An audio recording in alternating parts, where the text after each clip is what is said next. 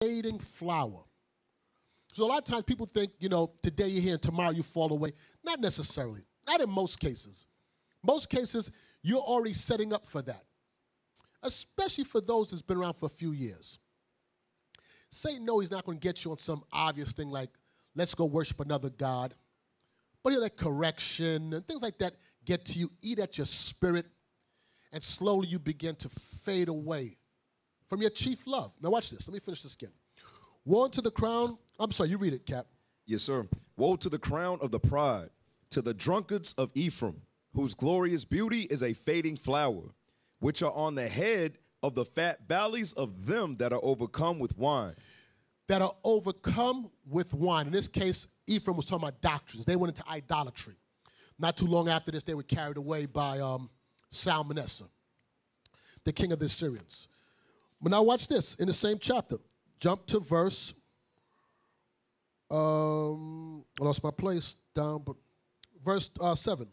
Verse 7 But they also have erred through wine, and through strong drink are out of the way. The priest and the prophet have erred through strong drink. They are swallowed up of wine. They are out of the way through strong drink. They err in vision. They stumble in judgment. That wine is doctrines. And guess the end result of them in this, they do what? The last part, they err what? They err in vision. They err in vision. You know what vision is? Vision is when you can foresee something and you can plan ahead. All of us here need to have the mind of a visionary. We have to see the long term goal of what we're trying to achieve. A lot of times we get caught up in, in the moment and we lose focus on can I endure to the end? I'm gonna show you something. I'm gonna tell you something. You could be right about something, but by the way you handle it will make you just as wrong. Right. Even if you was erred, even somebody erred and did something to you, by the way you handle it can make you just as wrong. So we all prescribe that we all know Christ is our King. We're the Israelites. We're the only nation with the own true God. This home that you're all here building, and we're building throughout the world in IUIC is to bring about Christ's kingdom. And because of correction, you would walk away from it.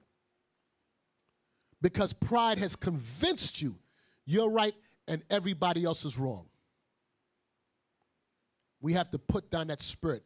Now it says, they err in vision. They, they stumble in judgment. they stumble in judgment. You know how you stumble in judgment so- sometime? You'll get your Bible and your concordance and you put together all these precepts to justify yourself. Mm-hmm. And you got all the wrong precepts. But in your mind, you think you piece it together properly. But remember the, the first thing we read the woe to the crown of pride. Because all those precepts you put together, your mind was in a prideful state. So ain't nothing good gonna come out those precepts. Even though you put them together and they lay down flat in your mind, but the Bible says what? Read on. Verse 8 For all tables are full of vomit and filthiness, so that there is no place clean. It says, For all tables are full of vomit and filthiness, so that there's no place clean. You know what that table's talking about? The scriptures talking about your mind. Your mind is full of filth. There's no place in your mind clean. So, what good precept can you really bring out? Who knows better than you that you're moving in the spirit of hatred or pride? It's a cunning demon.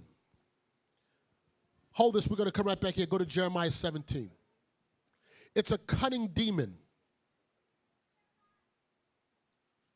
Read that for me. This is the book of Jeremiah, chapter 17, verse 9. This is what it says. The heart is deceitful above all things and desperately wicked. The heart is desperately wicked. You know what I mean? Des- you know something's desperate? What it means? At all cost. It's going to try to what? Convince you. At all cost, the mind is desperate to find a way and answer to justify itself. It's desperately wicked. Read on. Who can know it? You can know it. You know your mind. I'm going to ask a question. I don't want you to raise your hand. I just want you to think. How many of us in here have, don't raise your hand now, have a problem with correction? Think about it in your head. How many of us have a problem being told that you're wrong? If you can answer to yourself honestly and say you do, just know, don't ever listen to your mind. Your mind, like my mind, is desperately wicked. I don't trust my mind. I tell you, I keep on saying in my classes, if it ain't written here, I don't trust it. Because I know I can convince myself of whatever I want to, if I want to. God already told me, I made you, and I'm telling you, your mind is desperately wicked. No, God, I'm right. Dude, I made you. I'm telling you, your mind ain't right. Desperately wicked. At all, point, at all costs, you point fingers, you'll try to find a way around it. Now, look what it says. Read on. Verse 10 I, the Lord, search the heart. I try the reins, even to give every man according to his ways. God said, Listen, I try the heart. I search your rein. I know how you think. And I'm going to give you according to your doing. So, back in Isaiah, when we read in uh, 28 and 9, 28 and 8, it said what? Isaiah chapter 28, verse 8 For all tables are full of vomit and filthiness, so that there is no place clean. That's your mind. There's no place clean. No place clean because of pride. Read on. Verse 9 Whom shall he teach knowledge? And whom shall he make to understand doctrine? Them that are weaned from the milk and drawn from the breast. So, who's God going to make to understand doctrine, to understand knowledge? Them that are weaned from the milk and drawn from the breast. These commandments. That's who's going to understand. They're going to know that their mind is desperately wicked. They're going to understand what pride is. Watch, read on. For precept must be upon precept, precept upon precept, line upon line, line upon line. Here a little and there a little. They're going to put this Bible together, precept upon precept. Here's the point I wanted. Read on. For with stammering lips and another tongue will he speak to this people. And it's this language that we're here speaking this bastard tongue English, Spanish, French, Portuguese. This word was going to come to us to tell us what in this chapter? Be careful with pride. Read on. To whom he said, This is the rest wherewith ye may cause the weary to rest and this is the refreshing, yet they would not hear. Yet they would not hear. I'm asking a question. It says, This is the rest wherewith you cause the weary to rest. This is the refreshing, yea, they would not hear. What does it mean, yea, they would not hear? One word. Nobody knows. Pride. It's pride. Yea, they would not listen. Why? Their mind is filthy. There's nothing clean there. He's saying this is the rest where you can unburden yourself with all the pride and you go through right here in these words. Let it go, move on. Take the correction, don't let it destroy you. But yet, because of pride, they would not listen. How, I'm actually you, captains and deacons, how many people you seen come and go for no other reason other than pride? They just can't take it. Men and women. And you're like, are you going to let all this go because somebody hurt your feelings? They will not hear it. Read on. But the word of the Lord was unto them precept upon precept. But this person with pride, the word of the Lord was unto them what? Precept upon precept. Oh, they breaking it down. They got all the precepts. Read Pre- on. Precept upon precept, line upon line line upon line. Here a little and there a little. You know what they're doing? They're studying these scriptures to justify themselves. That's the only reason they're studying. I got to find this precept, to, this precept, and this precept to prove what I'm saying. You know, sometimes if the Spirit of God is on you, or when the Spirit of God is on you, you don't have to justify yourself. Your fruits will justify you. Time will justify you. You don't need to try to prove nothing. Just stay in these scriptures. Hey, you just, okay, I understand. I get it right. I'm sorry. I'm cool. But no, you there all night, you and your concordance trying to look up words. Let me find precepts to go. What's the synonym of this word? Man, your mind is filthy, man. You can't get it. Is there more? Yes, sir. Read on. that they might go and fall backward and be broken and snared and taken. You fall out of this truth. Read on. Wherefore, hear the word of the Lord, ye scornful men that rule this people which is in Jerusalem. It says, hear, now, Wherefore, hear the word of the Lord, ye scornful men that rule the people. Who's he talking about? These leaders that have a spirit of pride. You scornful men. Now, why did I stop there concerning leaders? Watch this. Let's go to Sirach, chapter 10. Pride, a cunning demon. And many people stumble at the word because of it. 10 and 1. Sirach chapter 10 and verse 1. A wise judge will instruct his people, and the government of a prudent man is well ordered. Not a scornful, but a wise judge. Not a scornful judge.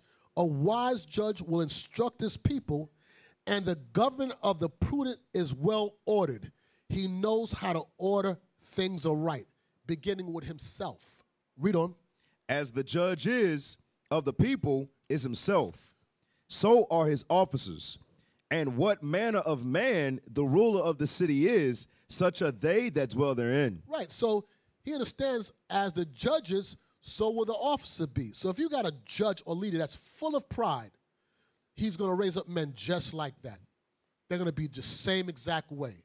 And everybody's going to walk around with a spirit. How do you build a nation when everybody's moving in a prideful spirit? Us as leaders, we're examples to you on not to let pride overshadow right from wrong. We ourselves make mistakes. We're not perfect. And we have to be able to verbalize it and act on it to give example. Now, watch what it says. Read on. Verse 3 An unwise king destroyeth his people, but through the prudence of them which are in authority, the city shall be inhabited. But an unwise king will destroy his people. That's that scornful leader. But through prudence of them which are in authority, the city shall be inhabited. Meaning what? That city will grow. That city is right here, it's being built right now. We're growing. We're growing. Why?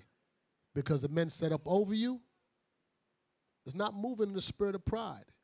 And if they are, God will move them out the way. He will be destroyed. Watch this. Let's jump on down in the same chapter. I want to jump down to verse. Um, should I read on? I jump to verse seven. Let's jump through this quick. Verse seven. Verse 7 Pride is hateful before God and man, and by both doth one commit iniquity. It says pride is hateful before God and man. God hates a prideful man. And you know what? Men will hate a prideful man because he can never be told anything. And it says what? The last part of that says what? And by both doth one commit iniquity. And by both one doth commit iniquity. Pride, it says by both, by pride and hateful. You have a hateful spirit when you have a prideful spirit. And by both doth one commit iniquity. Read on.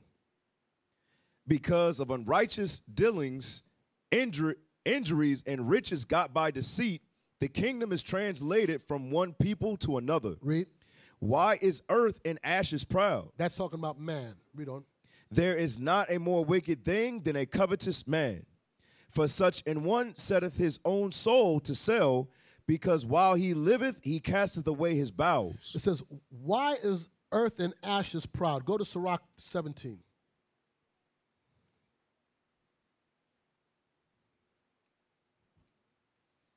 Seventeen thirty-two, proving earth and ashes is man. Sirach chapter 17, verse 32. He vieweth the power of the height of heaven, and all men are but earth and ashes. So we know man is referring to earth and ashes. So back in um, ten nine, Sirach chapter 10 and verse 9. if thou be No, invited. No, uh, Sirach 10 and 9. I'm sorry. My mistake. And I want you to read right to the uh, to the question mark. Yes, sir. You said 10 and 1 or 10 and 9? 10 and 9, please. 10 and 9. Why is earth and ashes proud? Why is man proud? Why is he proud? Read on. There is not a more wicked thing than a covetous man. It says there's nothing more wicked than a covetous man. Why does it why is it referring to covetous now? What is a covetous man? What's one of the attributes of somebody who's covetous? Black shirt, somebody. Right there.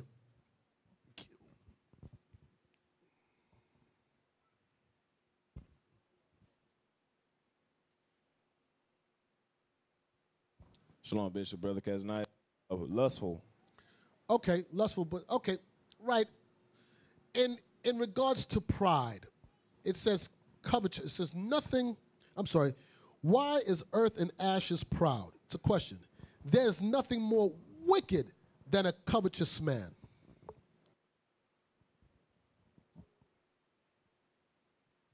Give me the attribute of covetous. Shalom, Bishop. Um, envy. Okay. Let me answer it. Somebody who have a covetous spirit, he's about himself. When it says thou shalt not covet thy neighbor's wife, it's telling you you don't give a damn about your neighbor. It's all about you. That's a prideful spirit where you don't care what everybody's saying. It's me. I'm right. It's me. It's about me. It don't work here. It should not work here. That self-absorbed, self-righteous, covetous, always thinking about how it benefits. You bring out a scripture, I'm going to find a scripture explain why I'm right, why it's me, me, than just laying down and taking it. Deacon, you want to say something? Okay. When you have that covetous spirit, you are self-absorbed. Pride is you're better than everybody else. You can't tell me I deserve. Watch this. Read on. Verse 10. The physician, No, no, no. Same verse 9. verse 9. Why is earth and ashes proud? There is not a more wicked thing than a covetous man. For such an one setteth his own soul to sell. You know when you sell your own soul to sell? You're going to kill yourself. You, you want to lose, sell your soul because you just are so self absorbed. I can't be wrong, so I'm so right that I'm to leave this body. I'm to prove to you guys. And, and guess what? You out there eating brisket on Passover. You're going, sit, stupid. you, go, you want to lose everything. Get that in Hebrews 12 real quick. You know I'm talking about? Um, for one morsel of, you know what I'm saying? Yes, sir. This is the book of Hebrews, chapter 12. Give me the correction. I'm not looking with you. Give me the part of correction and jump Yes, down sir. to, then give me the morsel part. verse uh, 16 lest there be any fornicator or for No, no, profane give me the point. I'm not looking. Just give me the, where he correct. Chasten is not, and then jump down to, um, yes sir verse 6 for you said chasteneth well, it's not comely, but it's yieldeth. Let me go there. You know what I'm talking about. oh, Thank oh you. verse 11 Thank you. it says now no chastening for the present seemeth to be joyous but grievous nevertheless after it yieldeth the peaceable fruit of righteousness unto them which are exercised thereby Right, you get correction, but it's going to yield the peaceable fruit of righteousness. It don't seem good, but it's good for you. But if you process it as something bad, now read the next part. wherefore lift up the hands which hang down and the feeble knees Because you're wounded. It says, don't be wounded to the point now you sobbing or you moping and you in the back of the room and woe is me. Read on. and make straight paths for your feet Read on. lest that which is lame be turned out of the way, You fault this truth. Read on. but let it rather be healed. Read on. Follow peace with all men and holiness, without which no man shall see the Lord. It's saying after correction, you better learn to follow peace with all men because your feelings are hurt. You better learn because without that, you will not see the Lord. What would stop you from following peace? Pride. Pride would stop you from doing it. You know what gets me in this truth? We're, we're, we are reformed, in a, a, a reforming our thoughts. We would, we would deal with all manner of Negroes in the streets and they do all type of foul and murder and robbery in here. Somebody tell you do something wrong, and it, it irks me when I see big, strong, grown men emotional. Yo, who is he to tell me that? Well, that's my job. I'm supposed to do. I'm supposed to tell you. You hurt my feelings. You know that sounds as men? He hurt my feelings. Are you joking? Dudes did in prison doing push-ups for 20 years and come out. He hurt my. You shouldn't have said that. Oh gosh. We ain't, we ain't coming. We ain't, we ain't come out this captivity with men like that. No. Go to the daughter Sarah meetings, uh, please. Got to be joking. Can't believe he said that. Read on. Looking diligently, lest any man fail of the grace of God, Lest any man fail of the grace or the mercies of God. Read on. lest any root of bitterness springing up trouble you, Let any root of bitterness spring up, it troubles you. Read on. and thereby many be defiled. Read on. Lest there be any fornicator or profane person as Esau, And this is what it says. Lest you be like Esau. Read on. Who for one morsel of meat sold his birthright. For one morsel of meat, he sold away his birthright. Read on. For ye know how that afterward, when he would have inherited the blessing, he was rejected. You understand why they use that analogy with Esau? For one morsel of meat, he threw away his birthright. Because a little bit correction, you leave. Your feelings hurt. You run away. For a little bit, somebody tell you, you know you're wicked. You know you're an idiot what you just did, right? Who are you to say that? I'm not coming back. Okay. Bye. Next. you throw away everything. You risk everything because of your pride. Pride is cunning, man. And in your mind, you think you're right. But that's only you. You're counseling with your own self. Let's say this. Let's say you are right. Let's just say you're right. Wouldn't that be thankworthy with God if you enduffer? Say it right. You suffer. Wrongfully. Damn, I butchered that, boy. Enduffer. Where's that word? You suffer wrongfully, but you know that you're part of a mission, that I just have to eat that and move on because I see the bigger picture, because I got a long term vision, and I know what this body is moving towards, and these are hiccups we have. With God, that's thankworthy. First Peter 2 says that. But your feelings are hurt. Let's go back. We finished that, right? Yes, sir. Let's go back to um. He said it this uh, verse ten and nine.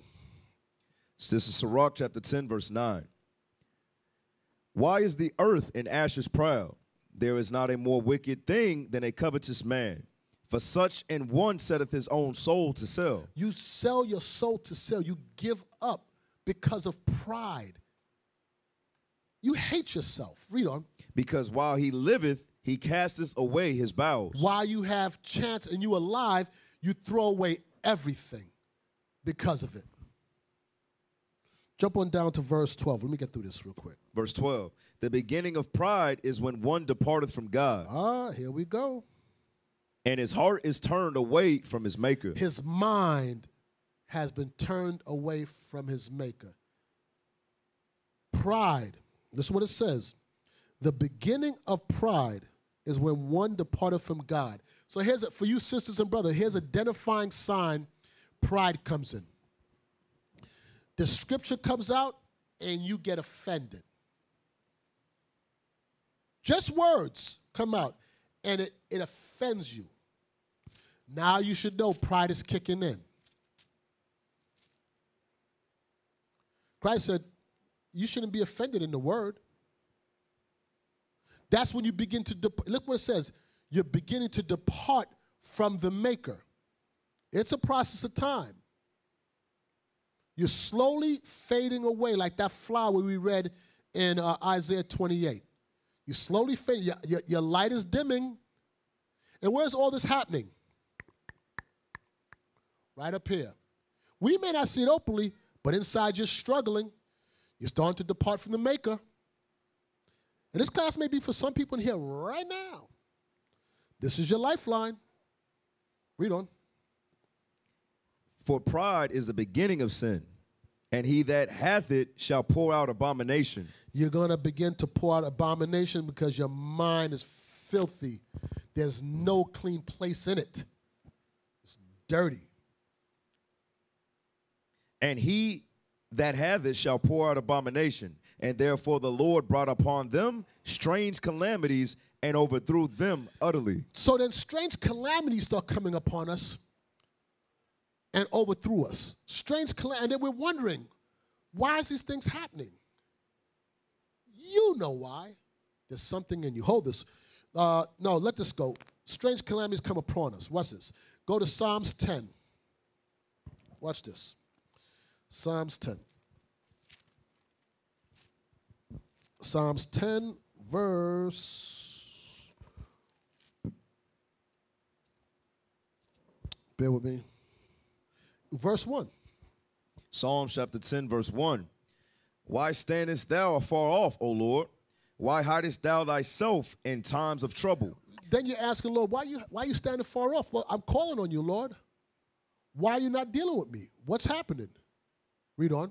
The wicked in his pride doth persecute the poor. It says, The wicked in his pride doth persecute the poor.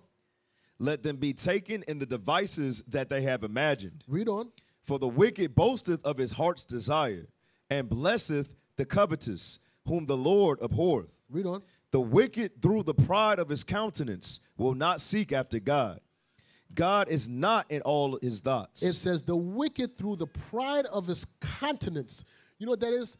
That's that man, his, his face, you can tell his countenance is testifying what he's going through. The wicked, through the pride of his countenance, will not seek after God. Hold this Psalms 29, 1. Then I want you to read verse 19.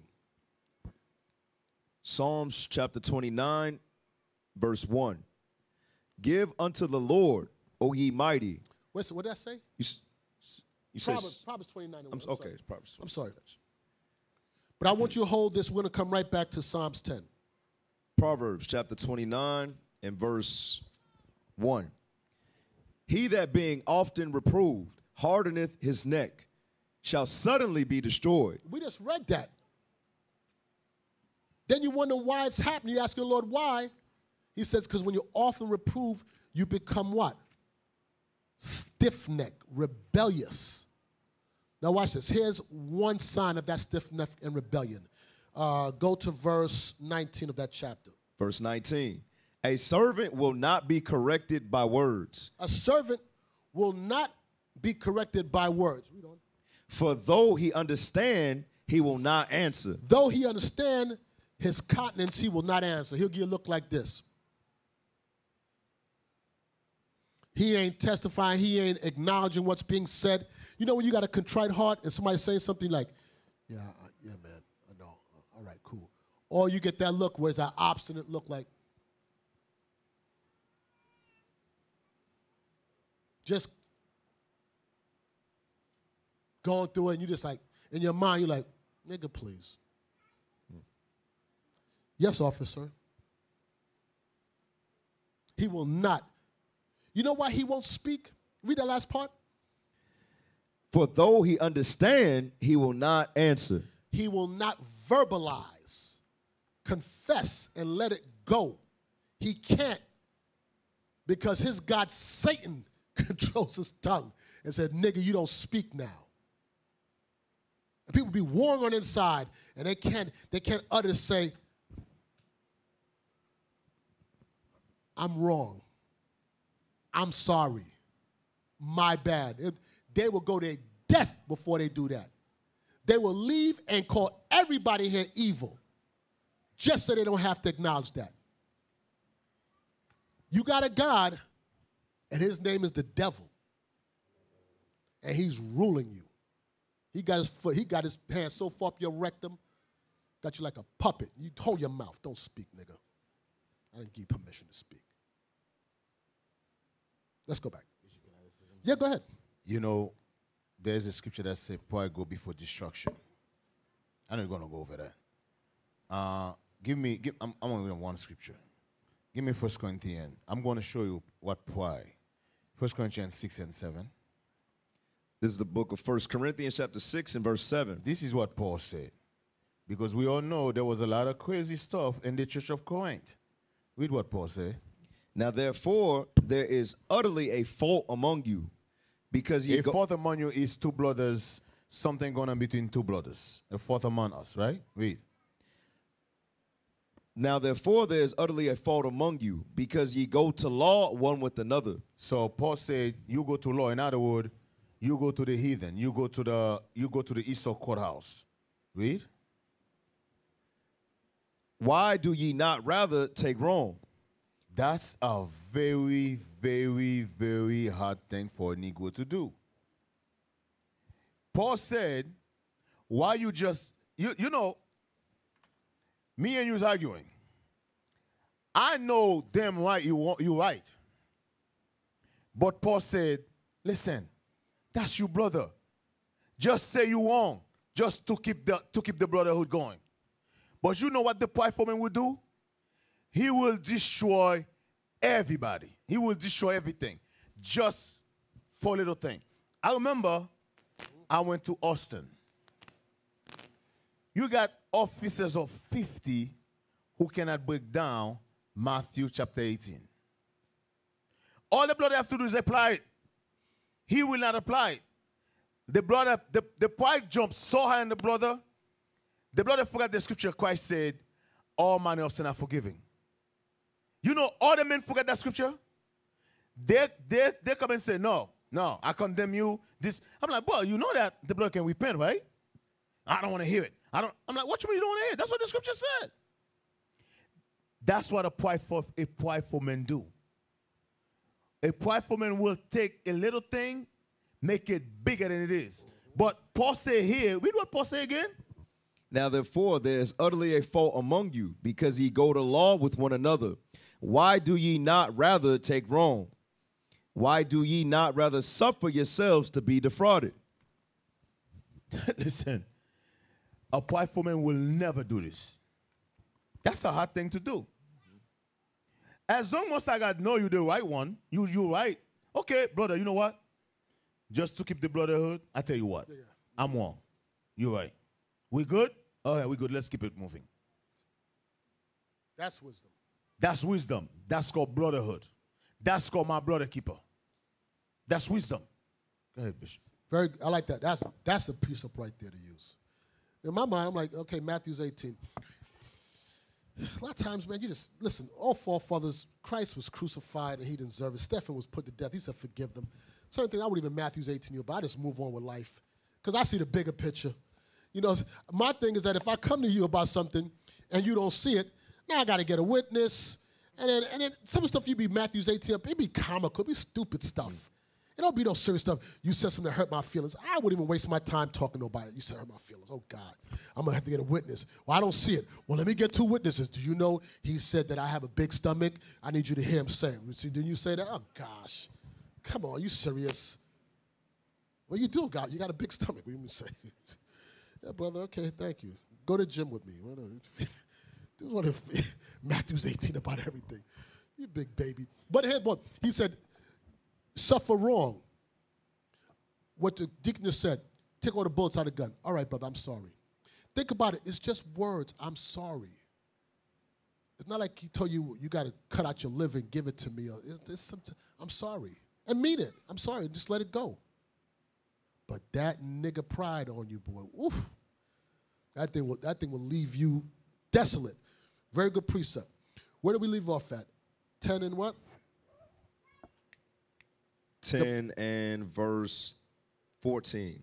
We at 14. Psalms? Am- am Oh, we back in Psalms. no, no, no, no, no, no, no. Stop, stop. Uh, What's the last scripture we left at? at? That was Proverbs 29. and then we. Uh, Oh yeah, let's forget that. Okay. Uh, I lost my train of thought. Oh, I know. Uh, Ecclesiastes. Ecclesiastes. Watch this. Ecclesiastes. That was a good precept in um, Corinthians. That was a precept right there. Ecclesiastes chapter. Watch this. Mm-hmm, mm-hmm, mm-hmm. Four. So we know this is 04 for the Solomon, right?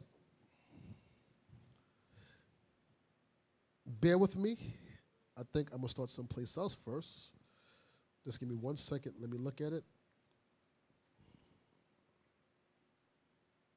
Yeah, let's go. Ecclesiastes 4, 4 13. Ecclesiastes chapter 4, verse 13. Better is a poor and a wise child than an old and foolish king who will no more be admonished. Listen to what Solomon said. He said, Better is a poor and wise child than an old and foolish king who would be no more admonished. Why do you think Solomon said that? What do you think Solomon suffered from? Pride.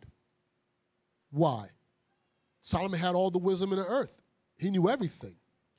He said, better to be a poor and wise child than to be an old foolish king who nobody can tell him anything. Jump up in the chapter. I want you to read verse 9. Verse 9. Two are better than one because they have a good reward for their labor. So for somebody to admonish you, they got to be somebody along with you. So it says two is better than one. It's good to have somebody with you. It's better than being by yourself. It's better than pulling away from the body to help. It says two is better than one. Now Solomon, well, I ain't gonna say it. Let's read on. For if they fall, the one will lift up his fellow. But woe to him that is alone. So the one that falls or sin, how's he gonna lift him up? He's going to correct him. Read on. when he falleth, for he hath not another to help him up. That's why it said you sell your soul, you sell your life away for one morsel. You let everything go, your lifeline. Read on. Again, if two lie together, then they have heat. But how can one be warm alone? And if one prevail against him, two shall withstand him. And a threefold cord is not quickly broken. So now you add men to your body to the body.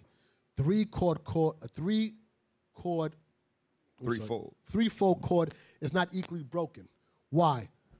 It's strong. There's checks and balances there. But watch what he says next. Better is a poor and wise child than an old and foolish king who will no more be admonished. Right. It says that foolish king will no more be admonished. You can't tell him anything. Now, Solomon's life. He couldn't be told anything, he said at one point. What happened? Watch this. Stay in the same, stay in the same book. Let's jump to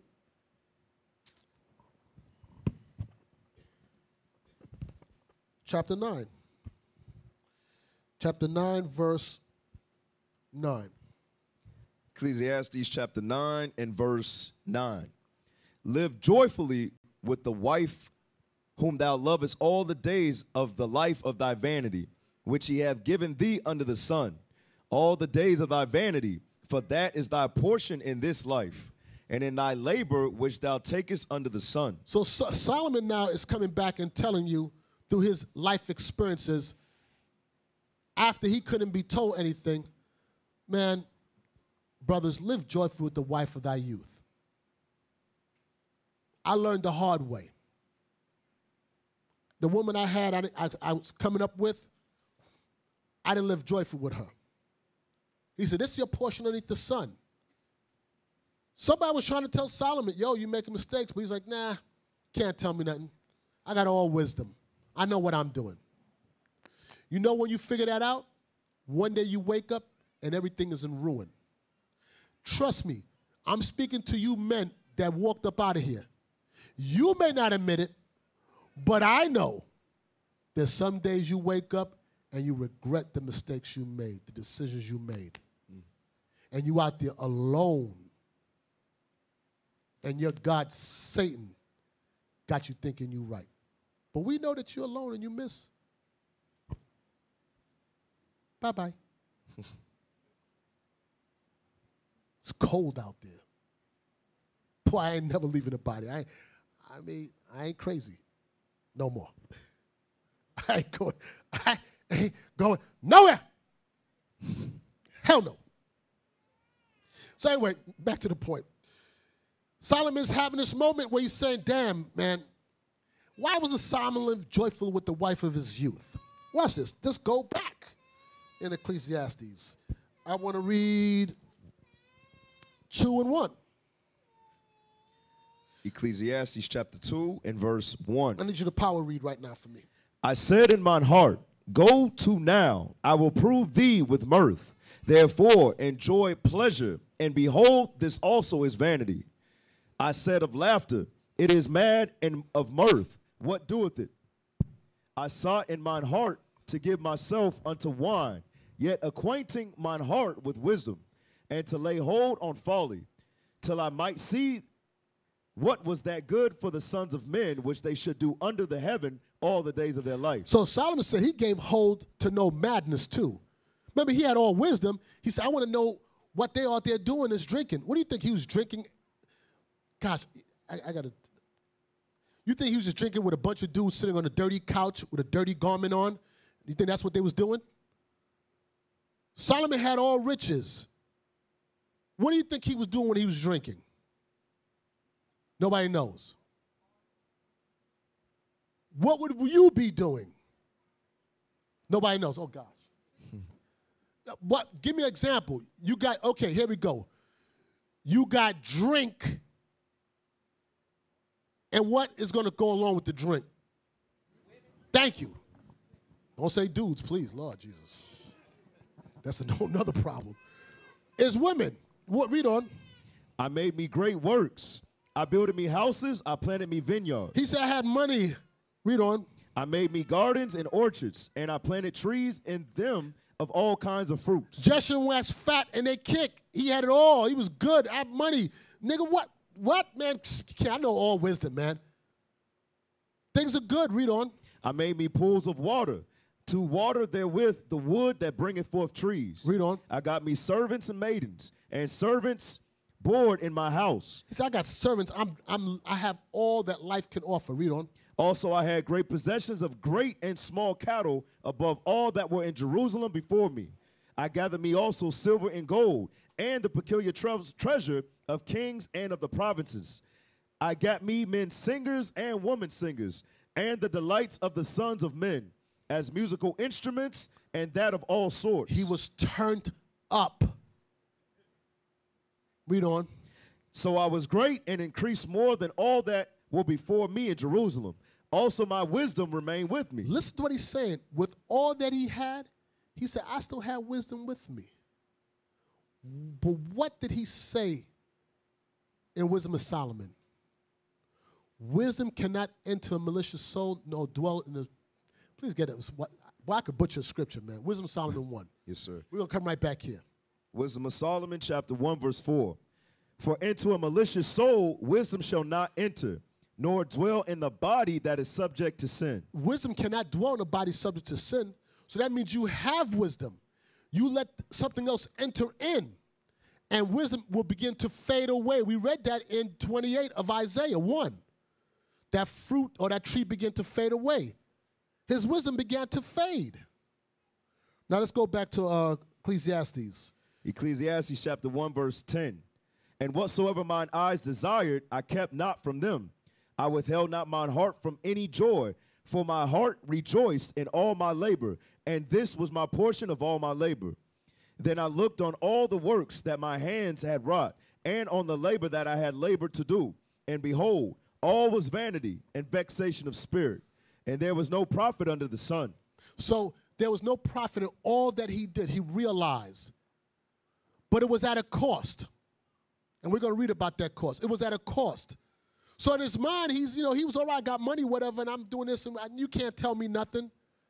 But when he came back later in his life, he realized, man, I should live joyful with the wife of my youth. So when he was turned up with all these male singers and women singers in the houses, you know he wasn't with his wife. She was where she was at. He was waking up drunk from the night before, turned up. God knows what women was in the bed and he was dealing whatever. Where was his son being guided by him? People trying to tell him he's making mistakes, but because of pride, he thought he knew. He wouldn't accept it. What's the next verse? Read. Verse 12. And I turned myself to behold wisdom and madness and folly. For what can the man do that cometh after the king? Even that which hath been already done. What is he trying to tell you? What can you do more than what I did? Because you don't have more money than me. I've done it all, and I've had all wisdom. But because of pride, with even with the wisdom he had, because of pride, he would not listen. That's why he said, two is better than one, and a three chord is not easily broken. But he says, because of pride, an old foolish king would not be admonished. Now watch this. Let's go to uh, Kings. First Kings 12.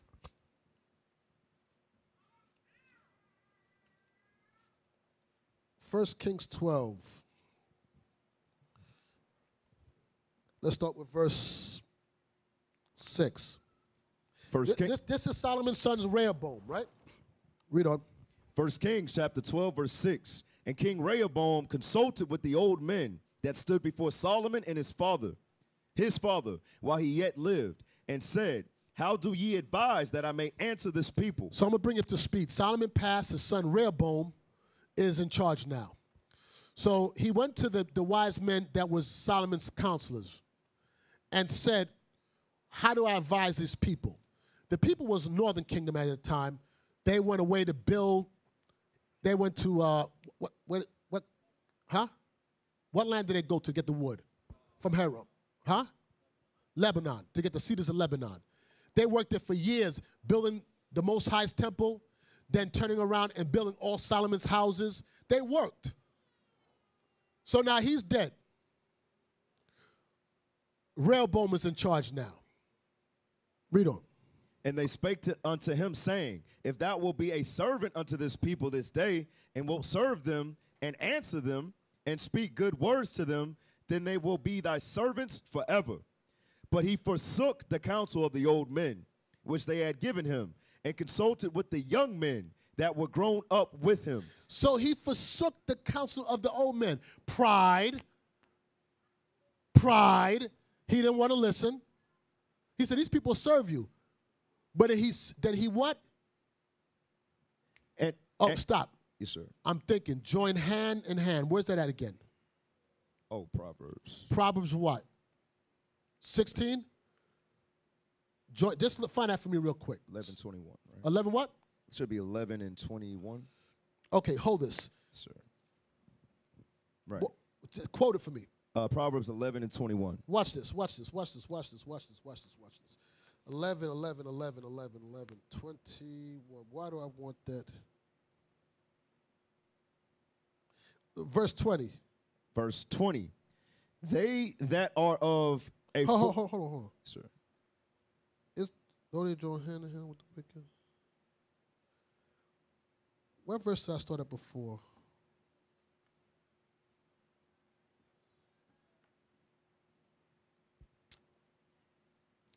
That's not the one I want. I can't remember it. Let's go back. That's not the one I want. There's another one. First Kings chapter 12 and verse 9.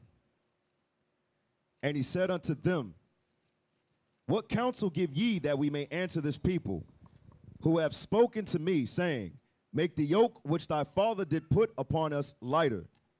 And the young men that were grown up with them spake unto him, saying, Thus shalt thou speak unto this people that spake unto thee, saying, Thy father made our yoke heavy, but make thou it lighter unto us. Thus shalt say unto them, My little finger shall be thicker than my father's loins. So listen to what he said. Rehoboam didn't he forsook the counsel of the elders, and because of pride, he went to these young men. And the counsel he got was to be disrespectful. He told them, let me tell you something. He said, You thought my father was bad. My lingo, my little finger, I'm trying to find the right, right word so. My little finger is going to be bigger than my father. In other words, I'm going to you. Wow. Now, why do you think he would talk like that? His father wasn't there to guide him like that. His father was partying. His father was full of pride. Solomon came around at the end and realized all it was foolishness. But he wasn't that, that spending that meaningful time with his son and guiding him. He wasn't there. That's why he came full circle and said, Man, live joyful with the wife of your youth. This is your portion underneath the sun. He's leaving that as an example for us to learn from. He said, You can't do more than me because I've done done it all. And I'm telling you, it ain't gonna work. Don't let pride govern you. So he said, read on. And now, whereas my father did laid you with a, a heavy yoke, I will add to your yoke. My father have chastised you with whips, but I will chastise you with scorpions. Now watch this. That was he said, I'm gonna chastise thee with scorpions. He said, I'm gonna give you a harder work. Now watch this. God gave Solomon all wisdom to understand everything. Watch this. Let's go back one chapter, chapter 11. Chapter 11, I want to start with verse 1. Proverb, I'm sorry, First Kings chapter 11, verse 1. But King Solomon loved many strange women, together with the daughter of Pharaoh, women of the Moabites, Ammonites, Edomites, Zidonians, and Hittites. Did not God warn him about this? But his pride, read on. Of the nations concerning which the Lord said unto the children of Israel, Ye shall not go in to them, neither shall they come in unto you. For surely they will turn away your heart after their gods. Solomon clave unto these in love. So God told him not to do it. And guess what? He was wise in his own conceits. He rejected God's counsel. Pride took him. That's why he said, I sought to know folly. I wanted to find out. Let's see what turned out from that. Read on. And he had 700 wives, princesses, and 300 concubines, and his wives turned away his heart. For it came to pass, when Solomon was old, that his wives turned away his heart after other gods, and his heart was not perfect with the Lord his God, and was as was the heart of his father of David his father. Now it says, and Solomon did evil in the sight of the Lord and went not fully after the Lord, as did his father David. Now, check out this. He said, Did David heart, was David heart always after God? No, it wasn't. David repented and was called a friend of God, but David heart wasn't always after God. Think about because of David's pride. What did he do? Committed adultery, partook in, partake in murdering. Solomon's mother played the whore with David. This is what he grew up understanding. My mom had a husband for this, and my dad killed him. Nobody wants David life. David's son raped his sister. David's other son slept with David's wife on the roof in front of everybody. David's other son tried to kill him. Pride. Pride caused that. David had to break down, and that's why he wrote Psalms 51. I'm wrong, Lord. I'm sorry.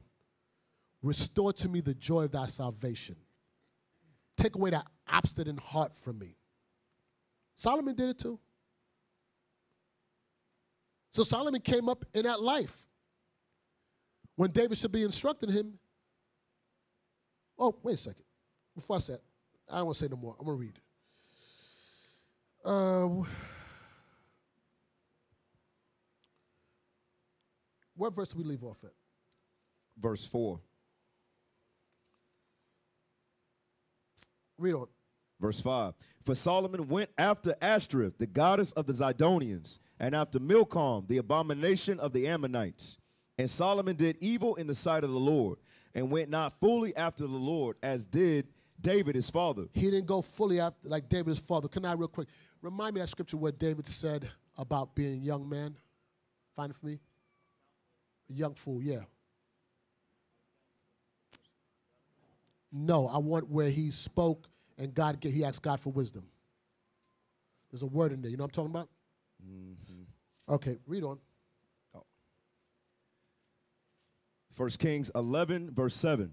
Then did Solomon build in high place for Chemosh, the abomination of Moab, in the hill that is before Jerusalem, and for Molech, the abomination of the children of Ammon. Now listen, Solomon built the temple to the Most High God, and he turned around and built a temple to other gods.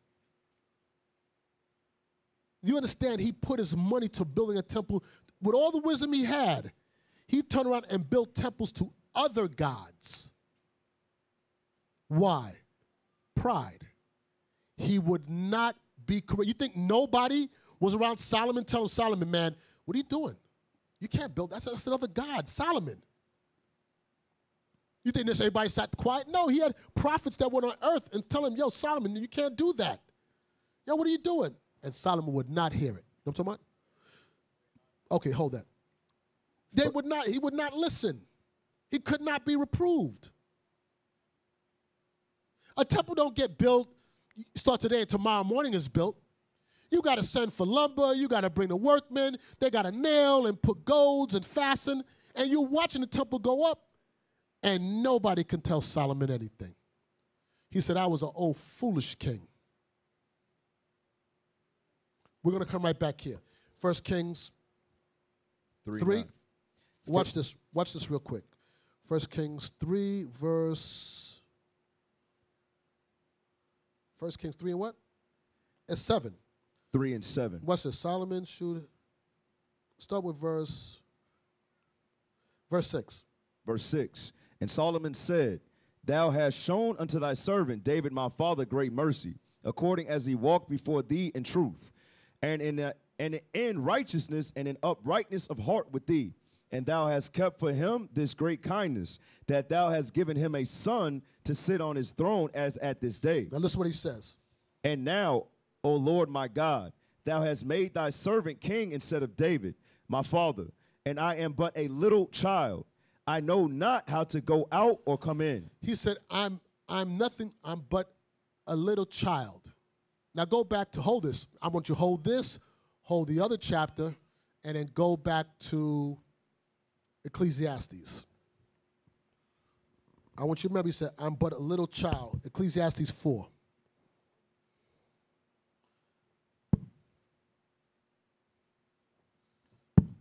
He said, You gave the throne to, to you promised an oath to my father David and gave me the throne. Right? Watch this. 4 verse 13. Ecclesiastes 4, verse 13. Better is a poor and a wise child than an old and foolish king. He was talking about when he was young. He was poor in spirit. Boy, better as a poor and wise child. When I was young and I had the mind to just serve God, that I grew into this foolish king that could not be reproved. That's how many of us come as truth. We, we, you know, we want to learn. We, we're, we're, we're pliable. We're being worked with. Then after a while, we grow. We become hardened. We think we know. That's why it tells you, young men, don't be novices, lift up in pride. Sometimes you hear Bishop talking and people be thinking he's, damn, why is he so mean? Nah, you better not process as mean at all. He's trying to save you. Pace yourself. This race is not for the swift. you think you're gonna do it's also you be one of those sparklers, you come out flaming and you just fizzle out. Come out hot. This is not that kind of race. This is a long pace yourself, prepare yourself for what's going to happen. So read that one more time. 4 and 13. Better is a poor and a wise child than an old and foolish king. He remembered that. He said, Better is a poor when I was poor and a wise child. I was wise because I went to God and asked God, you know, thanking God for giving me this position. Let's go back to our 3. I want you to read verse 7 again. First Kings chapter 3, verse 7. And now, O Lord my God, thou hast made thy servant king instead of David my father, and I am but a little child. I know not how to go out or come in. What was he saying? God, I need you to direct me. I need you to direct me. You think God directed him to build a, a temple to another God? No, pride did it. He said, I don't know nothing. Read on. And thy servant is in the midst of thy people, which thou hast chosen, a great people that cannot be numbered nor counted for multitude. Give therefore thy servant an understanding heart to judge thy people. He said, Give thy servant an understanding heart to judge thy people. So, guess what? So, Solomon had a spirit of pride on him, right? As the officers saw his judges, right? Who came next? Rehoboam. Pride. He taught him an evil lesson. Hold that right there. Go back to Kings um, 11. First Kings chapter 11 verse 8.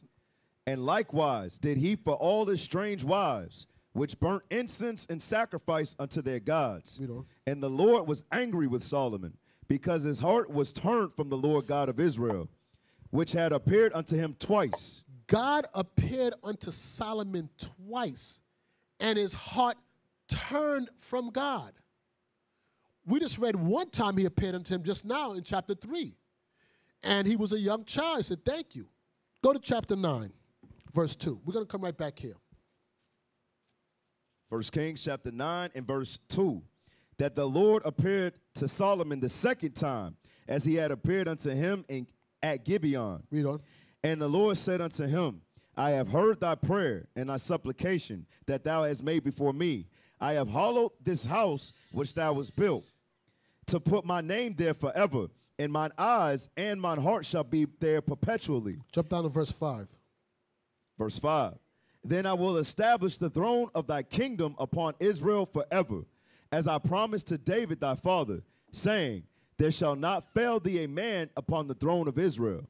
But if ye shall at all turn from following me, ye or your children, and will not keep my commandments and my statutes, which I have set before you, but go and serve other gods and worship them, then will I cut off Israel out of the land which I have given them, and this house which I have hallowed for my name, will I cast out my cast out of my sight, and Israel shall be a proverb and a byword among all people. He told him, Listen, I appeared to you two times, and I'm telling you, if you sin against me, I'm going to cast you out. Go to Titus 3, verse 10. This is the book of Titus, chapter 3 and verse 10. All right. All right. 3 and 10. A man that is an heretic after the first and second admonition, reject. God reject him. Twice he came to him, gave him. God came to him twice and dealt with him directly. He said, I came to you for a second time. Now, time to reject you. His son Rehoboam came in place. His son had no skill on how to guide. Because of pride, he took the wrong counsel, and the kingdom was rent from that house. You all understand? Watch this. I want to go from there. Proverbs 16, Says 16, Bishop. please. Okay. Proverbs chapter 16 And Verse 18. and verse 18. Pride goeth before destruction, and an haughty spirit before a fall. And a haughty spirit. Pride goes before destruction. So you already know when you identify that you have a spirit of pride on you, and every man knows himself, know it's setting you up for destruction. The end result of that pride will, I hope you understand that, the end of that pride will be destruction. And what? Verse 18, and a haughty spirit before a fall. Jump on down to verse 25. Verse 25. There is a way that seemeth right unto a man, but the end thereof are the ways of death. And that's what pride does. It make you seem that you're right. It will convince you. That's why he says the heart is desperately wicked. But when you have brothers around you and sisters that's there, those are your checks and balances right there. Those are your checks and balances. You cannot tell me that you find yourself, and I always do this, this year like this.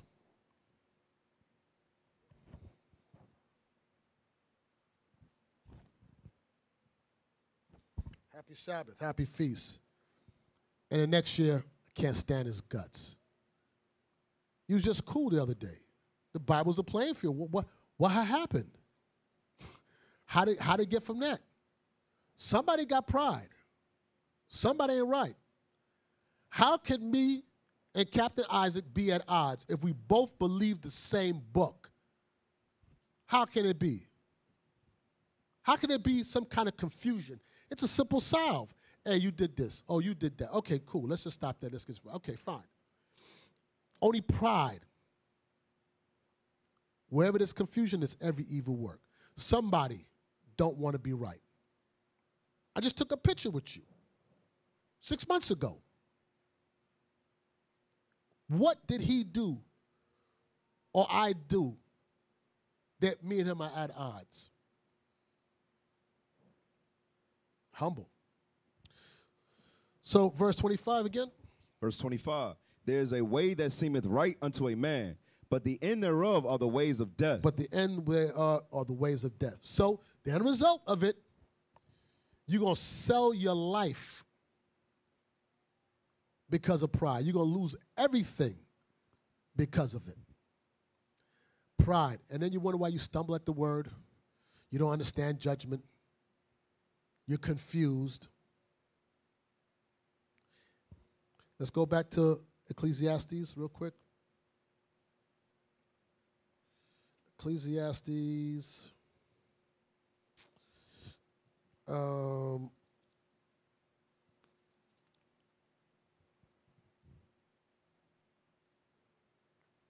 uh, what verse was that?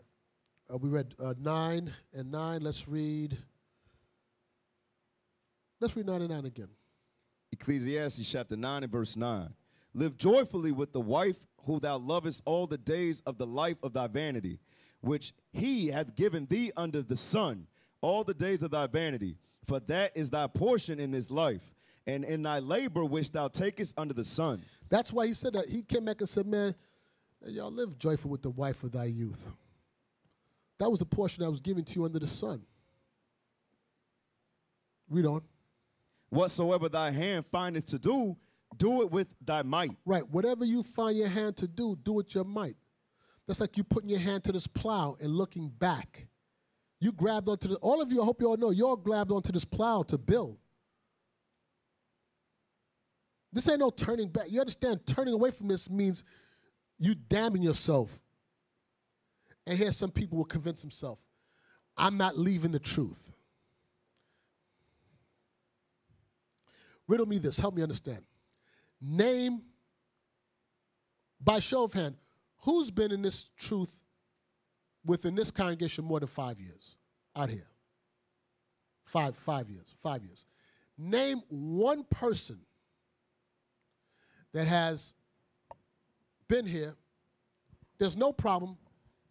Just gets up and say, Shalom, everybody. I want to thank you for all you've done, but I'm moving on. Nobody does that. When people leave, it's because something ain't right. And there you go. You leave because you think you're right. Well, if you're right, wouldn't you stay to help the body and help Bill and help fix the problem? Shepherds, uh, shepherds don't leave, hirelings flee. Right.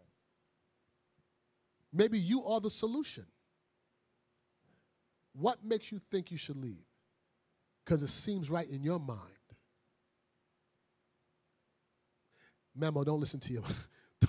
don't listen to yourself. Something you want to say? No, sir. Okay. Well, watch this. Um, uh, same chapter, verse 11. Ecclesiastes chapter 9, verse 11. I returned and saw under the sun that the race is not to the swift, nor the battle to the strong, neither yet bread to the wise, nor yet riches to men of understanding, nor yet favor to men of skill, but time and chance happeneth to all. All of us have, to, it, it, this race is not for the swift. This ain't how much, aren't you right now? This truth ain't about how much you know. I'm to that from now. It's how much you apply. Y'all can mark your Bible yellow for this, pink for that, fine point pens. You go a little warm up, buy all the tools and you pocket protectors and everything here, and you got your Bible highlight look like this. And when problems happen, it's what you do. And you in your feelings. Do you know what I highlighting you do in your Bible? What you're doing is you're preparing for the exam that you're about to take. Then when the exam come, you close the book. It's an open book test. Just open back up. And what it says to do, that's what you do. What it says not to do, here's the key. Don't do it. You close and go into your feelings. That's that's nigger pride. It's nigger pride. I feel, I think, I was wronged, I was this. Christ was crucified and he didn't deserve it and he took it. Please spare me what your problem is. That's what I'm saying. Big man, size 18 foot, and he said, My feelings are hurt. Nigga, please. You better pee sitting down. It says, uh, Nor the battle for the strong, neither yet bread for the wise, nor riches for men of understanding, nor yet favor for men of skill, but time and chance happeneth to them all. You know what it means when time and chance happen to them all? We all have that time, that lifeline. And I'm telling you, for some reason, today might be that for some of you. This is that lifeline right now coming out to you to help shake you up. This is your chance to say, you know what? God was talking to me. I know I've been in classes before, and I'm hearing classes going on, and I'm like, oh gosh, you can't put the priest and the better together. Certainly, you must be talking about me. How do you know? That's your lifeline. That's when you have that 1 Corinthians 13. Examine yourselves. Know ye not your own selves? Don't you know? Don't you know what you're battling, what's inside of you? Examine yourself. These scriptures are that lifeline. Time and chance, everybody have an opportunity. Read that in verse 4. Verse 4. For to him that is joined to all the living, there is hope. There's what? There is hope. Read on. For a living dog is better than a dead lion. It's saying while you're alive, there's hope to fix it. What would stop you from fixing it? Pride. Pride would make you stop you. And you know what pride, you know why pride would stop you from fixing it? Jump back one chapter, verse 11, 8 and 11. Ecclesiastes chapter 8 and verse 11. Because sentence against an evil work is not executed speedily, therefore the heart of the sons of men is fully set in them to do evil. That's why. Because judgment is not executed speedily, pride set in. You think you can get away with it. I guarantee you, if judgment, if you do right now and judgment is right after, that pride stuff will go out the window so fast. Men are set to do evil, to justify themselves, will not turn away from their sins.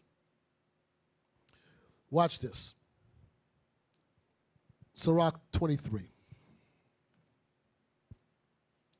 verse 2. This is the book of Sirach, chapter 23, and verse 2. Who will set scourges over my thoughts, and the discipline of wisdom over mine heart, Who? Read on. That they spare me not for mine ignorances, and it pass not by my sins? What? That's what we want. I'll start with verse 1. I'm sorry. Uh, Sirach, chapter 23, verse 1. O Lord, Father and governor of all my whole life, leave me not to their counsels, and let me not fall by them. To whose counsels? To your own counsels. Don't lead me to my own mind, Lord. Please. And don't join me to a person with the same problem I have, because together we both are going to convince ourselves that we right. People be leaving, they be leaving out here in twos and threes, and they all get together, and they're gone and they're bitter, and they watch the videos. Negro, you smitten with madness. Psycho. You leave and you stand back, and you sit home, watch the videos, and be like, "Oh, nigga. And then you get your Bible and try to find precepts to explain everything uh, or re explain everything. You shall know them by their fruits. It says, what? Read that one more time, please. O Lord, Father and Governor of all, my whole life, leave me not to their counsels, and let me not fall by them. Read on. Who will set scourges over my thoughts, Who will set scourges over my thoughts? Read on. and the discipline of wisdom over mine heart, that they spare me not for mine ignorances. That's what you want. You don't want to be spared for your ignorances. You need to be told, hey, bro, what you doing, man?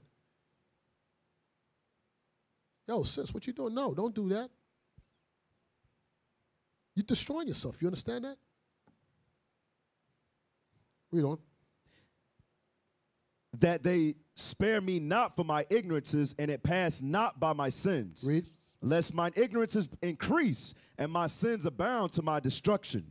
And I fall before mine adversaries, and my enemies rejoice over me, whose hope is far from thy mercy. Look what he's praying for. Man, please read on.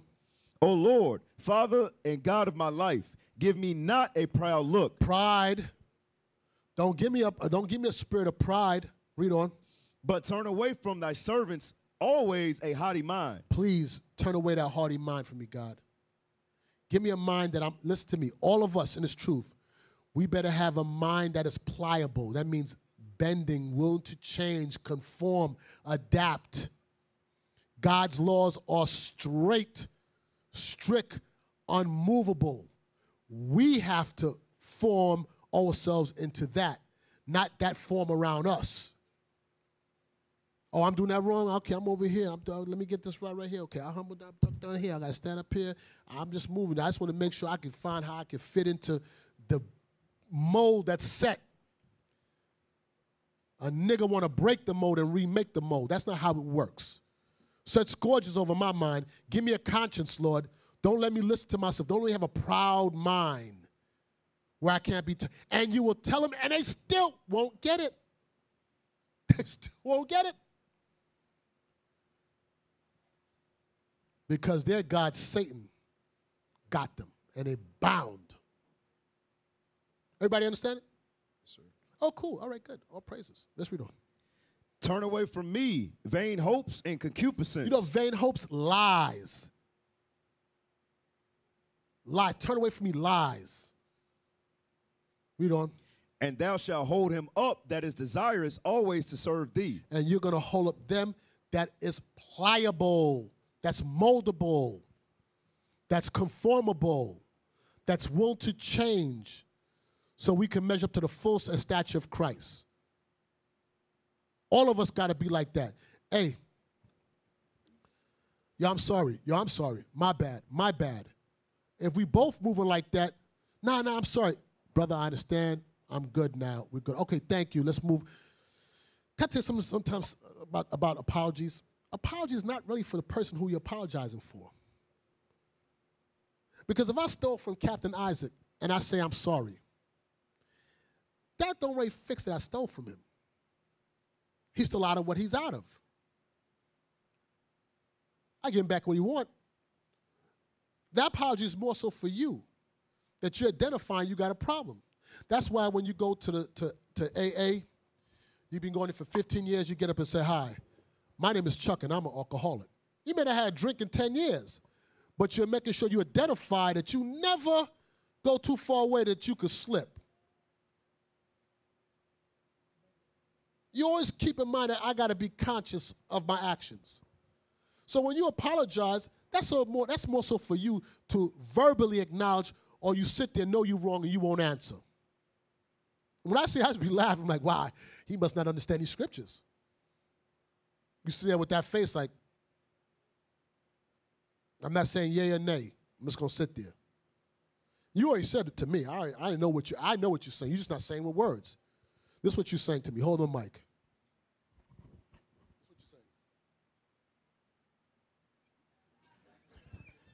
I ain't telling you nothing, nigga. That's what I see. Oh boy. Hey Bishop. Yeah, I go ahead. Scripture. Yeah, please. Uh, I'm gonna read uh, Second Esdras chapter eight, verse thirty-five, because what you said was heavy, as is very dangerous when you convince yourself that you don't deal with a certain spirit. Uh, we always gotta make sure that we are aware of what we deal with, even if we've overcome in a few years or however long it's been. We always gotta remember that we all deal with something. Um, this book is Second Esdras chapter eight, verse thirty-five. It says, For in truth there is no man among them that be born, but he hath dealt wickedly, and among the faithful there is none which hath not done amiss. So just like we're reading about the forefather King Solomon, what did he do? Wisest man that ever lived on the face of the earth, but even he went off. So it's always important for us to remind ourselves that we all deal with something. Very good point. So don't think none of us was great as and, and Solomon and he made mistakes. David, I mean, it's just you got to be able to humble. And sometimes, like with David, Most High broke him down for him to acknowledge it. Trust me, at the end of Solomon's life, Solomon said in Sirach, man, I should have really taught that. That book itself, you could say, not Sirach, Ecclesiastes, and explain. Solomon laid it on a line in Ecclesiastes. At the end of it, he said, man, let me tell you something. The whole duty of man is fear God and keep his commandments. Because he's going to bring everything into judgment. Those that are, I'm a, you're not going to butcher scripture, that are in secret. Get that real quick because I'm going to butcher it. I know what it means, I just can't say it. What'd you say, Bishop? I'm sorry. Sirach, uh, Ecclesiastes 12, the whole conclusion. yes, sir. There's one word, the secret is the word I want. This is the book of Ecclesiastes, chapter 12, and verse 13. Let us hear the conclusion of the whole matter. Fear God and keep his commandments, for this is the whole duty of man. What do you Verse think 14. he's, I'm sorry, what do you think he's saying that for? He's coming full circle and tell you, man, this is how it goes down. I'm telling you, I've done it all. I've seen it all. I've been there. You can never do more than me. I had all wisdom, and I pissed it off with the stuff I did. And here's the whole duty of man to do what? Fear God and keep his commandments. He said, man, listen to me. I'm telling you. Now, here's a wise man. Learn from somebody else's mistakes or learn from your own. Fear God and keep his commandments. For this is the whole duty of man. For God shall bring every work into judgment with every secret thing, whether it be good or whether it be evil. So whether every secret thing, if it's good or evil, Solomon's telling you it's going to come into judgment. So when he's writing stuff, he already told you, man, I didn't live joyfully with the wife of my youth, man. I made some some mistakes on how I dealt. I'm telling you, you know what? I was an old foolish king that wouldn't be admonished. And now I gotta live through the effects of my decisions. And I'm just letting you know, man, no, real talk. Just keep the commandments. For that's the whole doing man. And every work is going to be brought into judgment, either secret or not. That's for us to realize, you know what? I'm not going to do that. I'm not going to let a spirit of pride get on me where I can't be told nothing. I'm not going to allow that to be me. Because Solomon told me it just doesn't work. All right. Where did we leave off at, uh, officer? We uh you was in Ecclesiastes before. Uh, let's drop down. I'm gonna wrap it up in a second. A um, couple of things I want to read real quick. Um,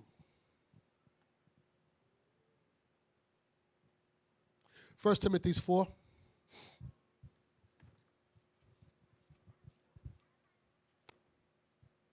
First Timothy four, one and two. This is the book of First Timothy, chapter 4, verse 1. Now the Spirit speaketh expressly that in the latter times some shall depart from the faith, giving heed to seducing spirits and doctrines of devils, speaking lies and hypocrisy, having their conscience seared with a hot iron. That's some people because of their pride, their conscience is seared. It's in the last day. Some people conscience is gonna be seared with a hot iron. It don't matter what you say to them, they will not see it. Who's ever had a white tee before and you burnt it? It don't matter how much you try to wash it out. That's why some people they're just appointed to death. You just gotta let them be. Bye. Your mind is gone. No fixing you. You're a broken toy. Bye bye. Got to go. Their mind are seared with a hot iron. Jeremiah 13. Don't let that be you. And Lord forbid it's me. 13 9. Jeremiah chapter 13 and verse 9. Thus saith the Lord, after this manner will I mar the pride of Judah and the great pride of Jerusalem. Damn. Read on. This evil people which refuse to hear my words, Pride, which walk in the imagination of their heart, pride, and walk after other gods, to serve them and to worship them, shall even be as this girdle, which is good for nothing. For He said, he said, You're no use to me because of your pride. Read on. for as the girdle cleaveth to the loins of a man, so have I caused thee to cleave unto me, the whole house of Israel and the whole house of Judah, saith the Lord, that they might be unto me for a people, and for a name, and for a praise, and for a glory, but they would not hear. Damn. He said, I chose you to be a glory to me for name and glory, yet they would not listen. They gave up to be called the sons of God and get all the blessings and glory that it have to offer. Why didn't we accept that? Just like Solomon, we wanted to folly. We wanted to go to folly. And God said, Damn, you that prideful, I'm punishing you, and you still don't want me? You will not hear me? And I chose you, and I lent you your life? You that prideful? That you won't humble to me? Then death. Read on. Verse verse 11. Ah, drop that. That's good. I'm about to wrap it up. Uh, give me uh, Jeremiah 17 and 1. Because we was reading that earlier in Jeremiah 17 and 4. Watch this. Jeremiah chapter 17, verse 1. The sin of Judah is written with a pen of iron and with the point of a diamond. It is graven upon the table of their heart and upon the horns of your altars. Whilst their children remember their altars and their groves by the green trees upon the high hills. So it says, The sins of Judah is written with a pen of iron and with a point of a diamond. That's why when sin comes, we bang that thing down because it's so graven and engraved, etched in our minds. We have to continue trying to beat that thought out of our people. Let go of that prideful spirit. Let go of that, that arrogant spirit where you cannot be told. We're going to wrap it up. Proverbs 8. Proverbs 8. Give me one second.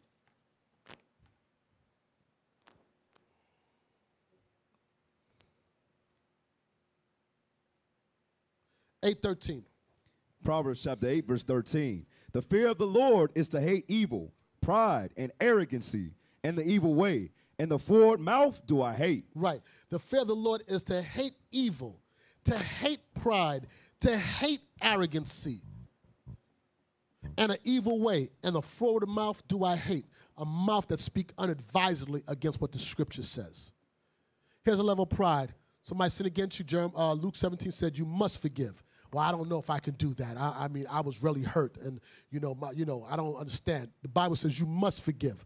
Well, uh, you, you don't understand what happened to me. Doesn't matter. The Bible says you must forgive. Well, that's easy for you to say. The Bible says you must forgive. It says you must forgive.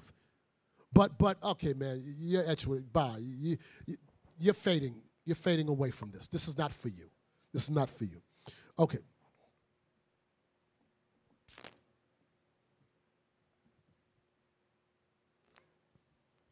James 1. We're going to wrap it up.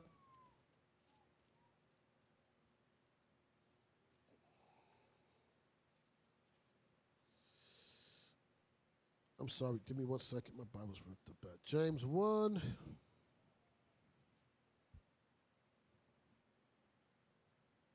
Bill me.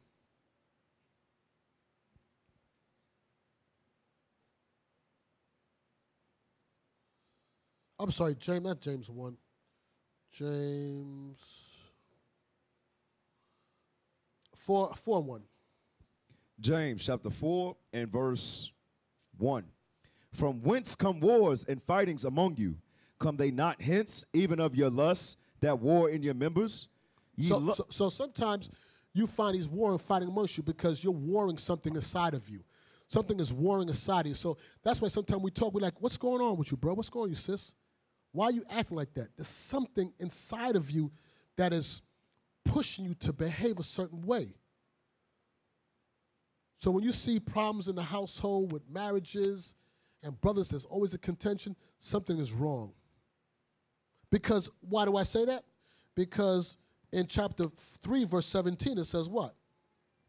But the wisdom that is from above is first pure, then peaceable, gentle, and easy to be entreated. Right, because the wisdom up from above is first pure, it's gentle, it's easy to be entreated. The wisdom from God is easy to be entreated.